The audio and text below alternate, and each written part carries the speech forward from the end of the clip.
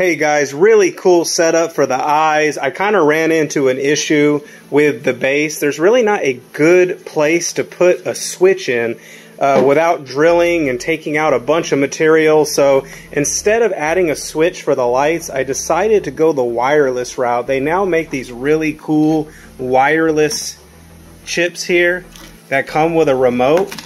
And you just hook your lights and your battery, your, your power source to that and you get lights. It's really, really simple. It has an input for your power, your positive and your ground. And then the same thing for your LED lights. You just cross both your positives, both your negatives. I already soldered them there. And they go right into the output wires to the chip. And once you got power, like so. Really simple. But let's see how they look with the eyes in. All right, guys, so that's with the lights in. Just like so.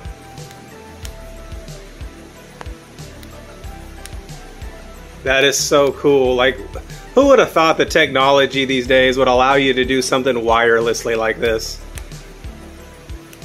That is so amazing. So simple, yet so cool. For the LEDs, they're just bright red LEDs that I got off eBay. They're already pre-wired with a resistor on them. It just makes life super easier instead of having to wire up these LEDs yourself. So I'll link those down below as well. But yeah, guys, that's it. Really simple. Uh, just a little wireless circuit with a key fob switch. And it lights right up. Amazing.